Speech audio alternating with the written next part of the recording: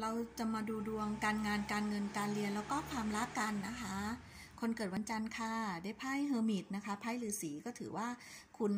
เป็นคนที่มีความชำนาญเป็นด้านๆนะคะถือว่าเป็นคนที่ชอบเรียนรู้นะคะ ไม่ว่าคุณจะเรียนรู้อะไร คุณก็จะเรียนรู้แบบจริงจังนะคะ รู้ลึกรู้จริง แล้วก็เป็นคนที่มีความพิเศษในตัวเองนะคะ เป็นคนที่เหมือนลักษณะค่อนข้างอัจฉริยะนะคะ ไม่ว่าคุณจะทำอะไรคุณมุ่งมั่นตั้งใจจริง ๆนะคะทำออกมาแล้วก็ดีมากนะคะ ถือว่าคุณเป็นบุคคลหนึ่งนะคะที่มีคุณภาพแล้วก็มีศักยภาพในตัวนะคะ ไม่ว่าคุณจะทำอาชีพใดนะคะ ล้วนโดดเด่นนะคะ แล้วก็ประสบความสำเร็จนะคะ มันอยู่ที่ตัวคุณเองนะคะ ว่าคุณจะจะตะเกียกตะกายไหมบางคนก็อาจจะอยากนิ่งๆนะคะทำงานก็ไม่อยากจะ เขาให้เป็นหัวหน้าหรือเลื่อนขั้นเลื่อนตำแหน่งก็ไม่อยากจะเลื่อนนะคะ ไม่อยากรับผิดชอบ ชอบอยู่นิ่งๆเงียบๆนะคะทำงานตัวเองไปอย่างนี้นะคะ เป็นคนที่ไม่ค่อยที่จะทะเยอทะยานเท่าไหร่นะคะ ถ้าเป็นคนทะเยอทะยานก็ถือว่าจะได้ ในเรื่องของหน้าที่การงานสูงสุดเลยนะคะ ผู้หลักผู้ใหญ่เห็นความสามารถนะคะ แต่เป็นคนไม่ค่อยช่างพูดเท่าไหร่อย่างนี้นะคะ แล้วก็อาชีพต่างๆนะคะ ไม่ว่ารับราชการนะคะก็มีความก้าวหน้านะคะ อาชีพทำงานประจำก็ถือว่ามีคนนับหน้าถือตาพอสมควรนะคะ มีคนยอมรับในความสามารถของเรานะคะ ไม่ว่าอาชีพใดนะคะ หรือทำมาค้าขายนะคะ อาจจะต้องอติดต่อกับ สื่อสารกับต่างประเทศเป็นหลักนะคะ หรือบางคนก็ไม่ได้อาศัยหน้าร้านนะคะ ค้าขายในออนไลน์นะคะอย่างนี้นะคะ หรือนำเข้าสินค้าจากต่างประเทศมาขายนะคะ หรือเราส่งออกสินค้าไปขายต่างประเทศนะคะ มักจะต้องติดต่อสื่อสารกับต่างประเทศเป็นหลักนะคะ หรืออชอบอยู่ต่างจังหวัดไกลๆอย่างนี้ก็ได้นะคะ ไม่ชอบจะเข้าเมืองอย่างนี้นะคะ เป็นคนลักษณะไพ่เฮอร์มิตหรือไพ่ฤาษีนะคะ เป็นคนไม่ค่อยสูงสิงนะคะ มีคนรู้จักเยอะ นะคะ แต่มีโรคส่วนตัวพอสมควรนะคะสำหรับการเงินนะคะก็ได้จากความสามารถของคุณนะคะ แต่คุณอาจจะมีโชคฟุกๆจากสิ่งศักดิ์สิทธิ์นะคะ เพราะคุณก็เป็นคนที่มีน้ำใจนะคะ ช่วยเหลือเกื้อกูลคนนะคะตกทุกข์ได้ยากนี้นะคะ ชอบทำบุญทำทานนะคะสำหรับในเรื่องของการเรียนก็ถือว่าเรียนเก่งนะคะ เป็นคนเรียนดีนะคะ เรียนได้ถึงระดับด็อกเตอร์นะคะ ก็ไม่ค่อยห่วงในเรื่องของการเรียนนะคะเพราะ perfect อยู่แล้วนะคะ ในเรื่องของความรักนะคะ บางคนก็ครองตัวเป็นโสดนานเลยนะคะ ไม่อยากมีชีวิตครอบครัวเห็นคนรอบข้างมีครอบครัวแล้ววุ่นวายอย่างนี้นะคะ ก็เก็บตัวเงียบๆอยู่คนเดียวนะคะ อยู่กับตัวเองอยู่กับครอบครัวอยู่กับเพื่อนไปนะคะ หรือบางคนแต่งงานแต่งการแล้วอาจจะใช้ชีวิตที่ต่างประเทศนะคะ หรือมีแฟนเป็นคนต่างชาตินะคะ หรืออาจจะคบหากับคนที่มีอายุแตกต่างกับเรามากนะคะ เช่นว่าเด็กกว่าเรามาก ผู้ใหญ่กว่ากว่าเราเยอะๆอย่างเงี้ยนะคะ ก็ถือว่าเป็นไปในทางที่ดีนะคะ ลักษณะว่าถ้าเผื่อมีคู่นะคะก็เป็นคู่ที่เหมือนเป็นเพื่อนกันมากกว่านะคะ อยู่กันเหมือนเป็นคนในครอบครัวเป็นเพื่อนเป็นฝูงนะคะ ความรักไม่ค่อยหวือหวานะคะสำหรับคนที่มีปัญหาคาราคซังกันอยู่นะคะ ก็ต้องอาศัยเวลาที่จะง้องอนคืนดีกันนะคะ หรืออาจจะเลิกลากันไปเลยนะคะสำหรับในเรื่องของคนที่เป็นโสดนะคะ คาดหวังที่จะเจอคู่อาจจะพบเจอคู่ต่างชาตินะคะ หรือเป็นคนในเครื่องแบบทหารตำรวจนะคะ หรือจะเป็นผู้หลักผู้ใหญ่นะคะ ที่รับราชการตำแหน่งใหญ่ ๆ นะคะ อาจจะเป็นไม้ไม้นะคะ ก็ถือว่าค่อยๆ คบหากันไปนะคะ ไม่ได้รีบเร่งนะคะสำหรับคุณสองคนที่จะคบกันนะคะ คนเกิดวันอังคารค่ะ ได้ไพ่เลเวอร์นะคะ ก็ถือว่าในเรื่องของหน้าที่การงานนะคะ อาจจะมีคนใกล้ชิดมาทำโปรเจกต์ร่วมกับเรานะคะ เช่นเป็นคู่ของเรานะคะ เป็นคนในครอบครัวนะคะ เป็นบุตรบริวารอย่างนี้ก็ได้นะคะ มาช่วยเหลืองานการนะคะ ไม่ว่าในโลกของออนไลน์นะคะ หรือเรื่องเป็นที่ปรึกษาอะไรอย่างนี้นะคะ ก็ถือว่าคุณอบอุ่นนะคะ ไม่ได้เป็นเดียวดายนะคะ มีคนเข้ามาช่วยเหลือไม่ว่าเพื่อนฝูง คนในครอบครัวนะคะ คนใกล้ตัวรวมถึงความละไอแฟนของเรานะคะ คู่รักของเรานะคะก็ถือว่าเป็นไปด้วยดีนะคะสำหรับหน้าที่การงานไม่ได้มีปัญหาอุปสรรคอะไรนะคะก็ถือว่าราบลื่นปัญหาอุปสรรคสามารถจัดการได้พูดง่ายๆ จะบอกว่าไม่มีปัญหามันมีทุกคนอยู่แล้วนะคะ ค่อยๆ จัดการปัญหาได้มันอยู่ที่ตัวคุณนะคะสำหรับการเงินนะคะ ก็ถือว่าได้โชคลาภจากคนใกล้ตัวนะคะ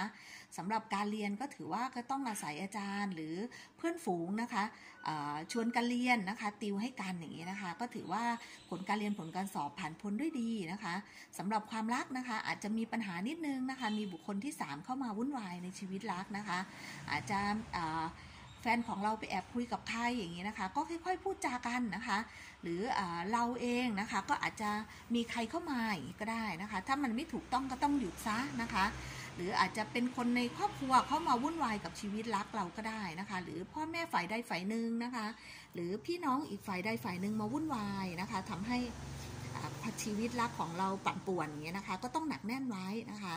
เดี๋ยวไม่นานนะคะ ทุกอย่างปัญหาก็จะคลี่คลายไปในทางที่ดีนะคะใจเย็นๆนะคะสำหรับคนโสดนะคะ คาดหวังที่จะเจอคู่แท้นะคะ ตอนนี้ยังมียังไม่มีนะคะ ถือว่าคนที่เข้ามาล้วนแต่เป็นคนที่มีเจ้าของแล้วทั้งนั้นนะคะ หรืออเป็นคนที่ยังคาราคาซังในเรื่องของความรักอยู่นะคะ ก็ต้องคบหาเป็นเพื่อนก่อนนะคะ แล้วค่อย ๆ พัฒนาเอานะคะ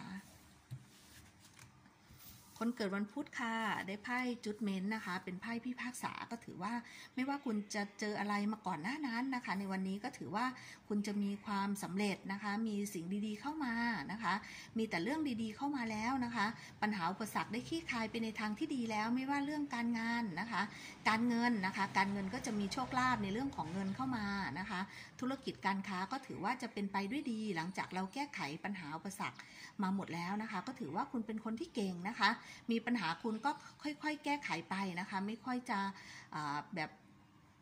ท้อแท้เท่าไหร่นะคะ เป็นคนที่สู้พอสมควรนะคะ ก็ถือว่าแก่งนะคะสำหรับการเรียนนะคะ ที่ผ่านมาการเรียนอาจจะยากนะคะ แต่จากนี้ไปนะคะ การเรียนก็ถือว่าจะประสบความสำเร็จบ้างแล้วนะคะ จากการที่คุณปรับตัวนะคะ แล้วก็ใส่ใจกับการเรียนผลการเรียนผลการสอบก็จะออกมายอดเยี่ยมนะคะ รวมทั้งคนจะจบการศึกษานะคะ ก็ได้จังหวะที่คุณ จะจบการศึกษาแล้วนะคะ ก็ถือว่าเป็นไปด้วยดีนะคะแล้วก็อาจจะได้เรียนต่อในระดับที่สูงขึ้นทันทีนะคะสำหรับความรักนะคะอาจจะมีปัญหาอุปสรรคกันนะคะ ที่ผ่านมาแต่จากนี้ไปนะคะ ก็จะเข้าอกเข้าใจกันนะคะ บางคนที่อาจจะงอนกันอยู่ก็จะกลับมาคืนดีกันนะคะ คนที่อยากเจอคู่แท้นะคะสำหรับคนโสดนะคะ ก็จะมีจังหวะที่คนดีๆ เข้ามาในชีวิตเรานะคะ มันอยู่ที่ตัวเรานะคะ ว่าจะพอใจกับ สเปคที่เราตั้งไว้ไหมจะตรงสเปคกับที่เราตั้งไว้ไหมอย่างนี้นะคะ ก็ถือว่าไม่ไม่ได้แย่นะคะ มีคนเข้ามาให้เราศึกษานะคะ คนเกิดวันพฤหัสบดีค่ะ ได้ไพ่เดวิลนะคะ ช่วงนี้อาจจะในเรื่องของการงานนะคะ อาจจะมีปัญหาอุปสรรคเกี่ยวกับคนนะคะ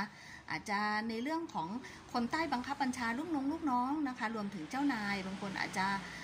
แบบ มีปัญหานะคะวุ่นวายนิดนึงนะคะ เพราะเพราะฉะนั้นก็นิ่งๆนะคะ ความนิ่งก็จะทำให้เราผ่านพ้นอุปสรรคไปได้นะคะ ก็ไม่ต้องใส่ใจนะคะ เพราะคนพวกนี้ก็เป็นคนพาลนะคะ ลักษณะว่าไม่ค่อยฟังใครนะคะ น้ำเต็มแก้วนะคะ เพราะฉะนั้นเราไม่รู้จะทำยังไงนะคะ เราปรับไม่ได้นะคะ ปรับเขาไม่ได้มันก็ต้องปรับตัวเราที่เหมือนเราต้องยอมรับนะคะ เหมือนอบริวารของเรา เช่นว่าลูกน้องเรานะคะ เราก็ต้องใช้ให้ถูกคนนะคะ บางทีใช้งานหนึ่งก็ต้องอาจจะบุคลิกอีกตรงกับอีกคนนึงนะคะ ให้ให้มันถูกจริตนะคะ แล้วมันก็จะได้ทำให้เราไม่ต้องมาเครียดอีกครั้งหนึ่งอย่างนี้นะคะ เพราะฉะนั้นก็ต้องอมันแค่วันเดียวนะคะ วันนี้วันเดียวอาจจะหงุดหงิดนิดนึงในเรื่องของการงานนะคะ หรือบางคนค้าขายนะคะ ก็อาจจะเจอลูกคงลูกค้าแบบ เยอะสิ่งนะคะ เราก็ต้องอดทนนะคะ จะบอกว่าลูกค้าคือพระเจ้ามันก็ไม่ใช่ทีเดียวนะคะ มันก็ลูกค้าบ้าๆก็มีนะคะ ก็ต้องอดทนนะคะ เหมือนแม่ขุนทองก็ต้องทนทุกอย่างนะคะ เพื่อให้ผ่านพ้นอุปสรรคไปมันก็ผ่านไปนะคะสำหรับเรื่องการเงินโชคลาภนะคะ อาจจะในเรื่องของการเสี่ยงอาจจะมีนะคะ ก็อาจจะได้จากสิ่งศักดิ์สิทธิ์นะคะให้เรานะคะ มีโชคลาภเข้ามาอย่างนี้นะคะ ก็อาจจะได้โชคลาภจากการที่เรามีอุปสรรคอย่างนี้ก็ได้นะคะ ได้โชคจากอุปสรรค หรืออาจจะได้ยอดขายเยอะๆนะคะ จากลูกค้าที่เยอะสิ่งนี้ก็ได้นะคะ กับตลปัดกันนะคะ วิกฤตเป็นโอกาสนะคะสำหรับการเรียนนะคะ ช่วงนี้น้องๆไม่ได้ใส่ใจการเรียนเท่าที่ควรนะคะ อาจจะมีปัญหาในเรื่องของความรักผิดหวังนะคะ หรือจะติดแฟนมากเกินไปอย่างนี้นะคะ ก็ให้ใส่ใจการเรียนนิดนึงนะคะ ความรักก็ทิ้งไว้ก่อนนะคะ ให้จัดการการเรียนได้สำเร็จแล้วค่อยกลับมาจัดการปัญหาในความรักอย่างนี้นะคะ เดี๋ยวมันทุกๆอย่างก็จะดีเองนะคะ เพราะฉะนั้นถ้าเราทิ้งทั้งการเรียนนะคะ พอมีปัญหาในเรื่องของความรักแล้วทิ้งการเรียนมันก็พังทั้งคู่นะคะ เพราะฉะนั้นมันไม่มีใครได้ทั้งหมดนะคะ เราก็ต้องเลือกเอาอย่างใดอย่างหนึ่งเลือกอนาคตดีกว่านะลูกนะนี้นะคะสำหรับความรักนะคะคนที่ มีคู่อยู่แล้วนะคะ อาจจะมีเรื่องทะเลาะเบาแว้งกันด้วยเรื่องไม่เป็นเรื่องนะคะ เรื่องขี้หมูขี้หมาเรื่องเล็กให้เป็นเรื่องใหญ่อย่างนะคะ ก็ง้องอนคืนดีกันซะนะคะ ก็จะได้เข้าอกเข้าใจกันนะคะ ถ้าเผื่อมันเยอะมากเกินไปนะคะทำให้เรารู้สึกว่าเราโดนเอาเปรียบมาตลอดเวลา มันก็ควรจะต้องถอยออกมานะคะ แล้วคุณจะเจอคนใหม่ทันทีนะคะ ที่ดีกว่าเยอะนะคะ คุณจะมีความรู้สึกว่า โหแบบนี้ถอยตั้งนานแล้วนะคะสำหรับคนที่เป็นโสดนะคะ คาดหวังที่จะเจอคู่นะคะ ช่วงนี้ยังไม่เจอนะคะ จะมีคนที่ไม่ไม่ค่อยโอเคนะคะ เข้ามาในชีวิตคุณ เพราะฉะนั้นคุณต้องนิ่งๆนะคะ ไม่ต้องไปต่อว่าต่อขาหรือทำกิริยาไม่ดีนะคะ เพราะคนตอนนี้รู้หน้าไม่รู้ใจน่ากลัวนะคะ เพราะฉะนั้นเราก็ห่างๆหรือถอยๆมานะคะ ไม่พอใจเราก็แบบนิ่งๆบล็อกไปนะคะ เดี๋ยวทุกอย่างก็จะดีเองนะคะ เเดี๋ยวมันก็จะเจอคู่แท้เองนะคะ ถ้าใช่เวลาที่มันจะต้องเจอกันนะคะ คนเกิดวันศุกร์ค่ะ ได้ไพ่กงร้อยแห่งโชคนะคะ ก็ถือว่า คนวันศุกร์ช่วงนี้นะคะ ก็จะมีโชคในทุกเรื่องไม่ว่าการงานการเงินการเรียนนะคะ แล้วก็ความรักนะคะสำหรับการงานก็ถือว่าจะเป็นไปในทางที่ดีนะคะ งานที่ติดขัดอยู่ก็จะถือว่าจะมีอะไรฟุกๆเข้ามาทำให้ปัญหาสถานการณ์ขี้คายไปในทางที่ดีนะคะ รวมทั้งคุณอาจจะได้เงินได้ทองจากการทำงานทำมาค้าขาย หรืออาจจะได้เลื่อนขั้นเลื่อนตำแหน่งแบบที่ไม่คาดคิดไม่คาดฝันนะคะ มีการเปลี่ยนแปลงที่ดีนะคะสำหรับในเรื่องของการเงินอาจจะได้โชคฟุกจากการเสี่ยงนะคะได้โชคจากการเป็นในหน้าค้าสังหาริมทรัพย์นะคะ หรือได้โชคจากการขายทรัพย์สินมรดกของคุณนะคะได้ขยับขยายกิจการอย่างนี้นะคะ ได้มาเขียนนี่เขียนสินอย่างนี้ก็ได้นะคะสำหรับในเรื่องของการเรียนก็ถือว่าเป็นไปได้เรื่อยๆนะคะ ยิ่งคุณมุ่งมั่นตั้งใจ ผลการเรียนยิ่งยอดออกมายอดเยี่ยมนะคะ คนที่จะสอบชิงทุนไปเรียนต่อก็จะสอบได้สำเร็จนะคะ คนที่จะสอบเข้ารับราชการ ก็ถือว่าคุณจะมีความสำเร็จสมหวังเข้ามานะคะสำหรับความรักก็ถือว่าความรักของเราก็เรื่อยๆนะคะ เข้าอกเข้าใจกันดีไม่ได้มีปัญหาอุปสรรคอะไรผ่านพ้นมาหมดแล้วนะคะ คนที่เป็นโสดนะคะ คาดหวังที่จะเจอคู่แท้นะคะ ก็ถือว่าช่วงนี้นะคะก็จะมีคนที่ตรงกับโปรไฟล์คนตรงกับสเปคที่คุณวางไว้นะคะ เข้ามาในชีวิตคุณนะคะ ให้คุณต้องเลือกนะคะอย่างนี้นะคะ ค่อยๆศึกษาไปนะคะคบหาเป็นเพื่อนฝูงแล้วค่อย ๆ พัฒนาเอานะคะ คนเกิดวันเสาร์ค่ะ ได้ไพ่ดิชาร์ลอตนะคะ ก็ถือว่าช่วงนี้นะคะ ได้ไพ่นักลบขั้วม้าศึกนะคะ คุณอาจจะเหน็ดเหนื่อยกับการงานนะคะเหน็ดเหนื่อยกับธุรกิจการค้าของคุณนะคะ ก็ถือว่าคุณสามารถที่จะผ่านพ้นอุปสรรคทุก ๆ อย่างไปได้นะคะ แล้วก็มีความสำเร็จสมหวังรออยู่ตรงหน้าคุณนะคะ เพราะว่าคุณเป็นคนเก่งอยู่แล้ว ไม่ว่าคุณจะทำอะไรนะคะ คุณไม่ได้ได้อะไรมาง่าย ๆนะคะ ก็ต้องเหนื่อยก่อนที่จะได้เงินนะคะสำหรับในเรื่องของการเงินการทองเช่นกันนะคะ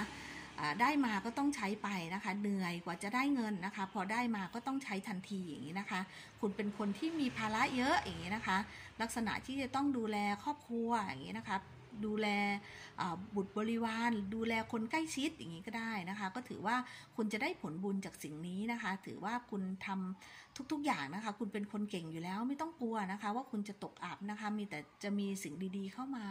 ตลอดเวลาอย่างนี้นะคะ ไม่ว่าเรื่องการงานธุรกิจการค้านะคะ ธุรกิจของคุณอาจจะมีต้องมีคู่ค้าคู่สัญญาเป็นคนต่างชาติอีกก็ได้นะคะ หรือบางคนอาจจะทำธุรกิจเกี่ยวกับการขนส่งนะคะ การเดินทางอย่างนี้นะคะ ก็ถือว่าเป็นไปด้วยดีนะคะ ก็ถือว่ามีอะไรที่เข้ามาจากนี้ไปนะคะ เดี๋ยวพอคุณผ่านพ้นอุปสรรคไปแล้วนะคะ ทุกๆอย่างจะขี้คายไปในทางที่ดีนะคะ คุณอาจจะต้องมีการเดินทางไกลนะคะ เช่นต่างประเทศหรือต่างจังหวัดไกลๆพบปะลูกค้าหรือในเรื่องของงานอย่างนี้นะคะ งานประจำหรือบางคนได้โยกย้ายเปลี่ยนแปลงไปรับตำแหน่งนะคะ ที่ต่างจังหวัดอย่างนี้นะคะสำหรับ การเรียนนะคะ ก็ถือว่าช่วงนี้เป็นช่วงที่หนักเหนื่อยเกี่ยวกับการเรียนนะคะ แต่คุณสามารถที่จะฟันฝ่าอุปสรรคไปได้ จากการที่คุณมุ่งมั่นตั้งใจนะคะสำหรับความรักช่วงนี้อาจจะทำงานเหน็ดเหนื่อยนะคะ ไม่ค่อยมีเวลาให้ความรักเท่าไหร่นะคะ หรือบางทีคุยกันก็ทะเลาะกันหนีนะคะ เพราะฉะนั้นก็ให้ใส่ใจในเรื่องของความรักกับความรู้สึกบ้างนะคะ เราก็อย่าไปคิดนะคะว่าเขายอมเราทุกอย่างนะคะ บางคนเราก็ต้องให้เกียรติกันพอคบกันแล้วอย่างนี้นะคะ ก็ถือว่าให้เวลากับความรักบ้างนะคะ ไปดูแลซึ่งกันและกันบ้าง อาจจะหาเวลาทานข้าวหรือไปเที่ยวไหนทำบุญไหว้พระกันนะคะสำหรับบางคนที่เป็นโสดนะคะ คาดหวังที่จะเจอคู่นะคะ ช่วงนี้ก็ยังไม่เจอใครนะคะ ที่จะเข้ามาแล้วถูกใจนะคะ มีเข้ามานะคะ แต่ยังไม่ถูกใจอย่างนี้นะคะ ก็คบหาเป็นคนรู้จักเป็นเพื่อนไปก่อนนะคะ คนเกิดวันอาทิตย์ค่ะ ได้ไพ่เดอะสตาร์นะคะ ก็ถือว่าช่วงนี้นะคะ คิดหวังอะไรคุณก็จะสมปรารถนานะคะ ในวันนี้คิดหวังอะไรก็สมปรารถนา ก็การงานการเงินก็ถือว่าเป็นไปด้วยดีนะคะผ่านพ้นอุปสรรคมาหมดแล้วนะคะ ช่วงนี้ก็เป็นช่วงที่ราบรื่นนะคะ ให้คุณได้พักเบรกหรือมีเรื่องบันเทิงเข้ามาบ้างแล้วนะคะการเงินการทองที่คาดหวังไว้ก็จะได้นะคะ แล้วก็การงานหน้าที่การงานก็ถือว่าประสบความสำเร็จบางคนอาอาจจะได้เลื่อนขั้นเลื่อนตำแหน่งนะคะ เปลี่ยนแปลงยกย้ายในสิ่งที่ดีนะคะ หรืออต้องการที่จะเปลี่ยนงานได้งานที่ดีกว่าเดิมอย่างนี้นะคะ หรือบางคนสอบเข้ารับราชการได้นะคะ สอบเลื่อนขั้นเลื่อนตำแหน่งได้นะคะสำหรับการเงินก็จะได้จากการงานหรือได้มีอะไรฟุกๆดีๆ เข้ามาในชีวิตนะคะ จากการที่อาจคุณอาจจะรอคอยเงินก้อนนะคะ คุณก็จะได้แล้วนะคะสำหรับการเรียนก็ถือว่าช่วงนี้ก็เป็นช่วงที่การเรียนเรื่อยๆนะคะ อาจจะเรื่อยๆเกินไปนะคะ น้องๆ อาจจะประมาทนิดนึงนะคะ นิดเดียวนะคะ ก็ถือว่าห้ามประมาทนะคะ แล้ว ผลการเรียนผลการสอบก็จะออกมายอดเยี่ยมเหมือนเดิมนะคะ บางคนจะจบการศึกษาหวังเกียรตินิยมคุณก็จะได้แล้วนะคะ เพียงแต่คุณมุ่งมั่นตั้งใจอย่างเดียวนะคะสำหรับในเรื่องของความรักนะคะ คนที่มีคู่รักอยู่แล้วนะคะ ก็ถือว่ารักกันอย่างดีนะคะ ไม่ได้มีปัญหาอุปสรรคอะไรนะคะ หรือบางคนก็ตัดสินใจอยู่คนเดียวเลยนะคะ พอใจกับการเป็นโสดนะคะแฮปปี้มากนะคะกับการเป็นโสด ก็ไม่ได้ที่อยากจะมีใครเข้ามาแชร์ความรู้สึกนี้ก็ได้นะคะ ผ่านพ้นอุปสรรคมาหมดแล้วอย่างนี้นะคะ ความรักก็ถือว่าคนมีคู่ก็ถือว่าไปได้เรื่อยๆ หรือบางคนก็อาจจะมีแผนนะคะ ที่จะมั่นหมายแต่งงานกันนะคะ หรือใช้ชีวิตร่วมกัน ก็ถือว่าเป็นไป อย่าง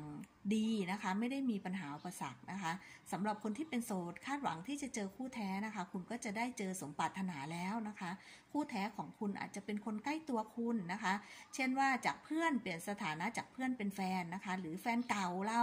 หวนกลับมาในแบบที่เขามีการปรับเนื้อปรับตัวนะคะ รู้ซึ้งของการที่ไม่มีเราแล้วอย่างนี้ก็ได้นะคะ ก็ถือว่าดูไปก่อนนะคะ คำทำนายจบลงไปแล้วนะคะ แม่ขุนทองกลับขอบพระคุณทุกๆทท่านนะคะ ที่ติดตามแม่ขุนทองตลอดมานะคะ ใครมีปัญหาก็ปรึกษาหารือแม่ขุนทองได้ไม่ต้องเกรงใจนะคะ ถือว่าเป็นคนในครอบครัวคนหนึ่งนะคะ ก็ปรึกษากันได้เลยนะคะ ขอให้ทุกท่านโชคดีในทุกเรื่องนะคะปราศจากโรคภัยไข้เจ็บต่างๆ สวัสดีค่ะ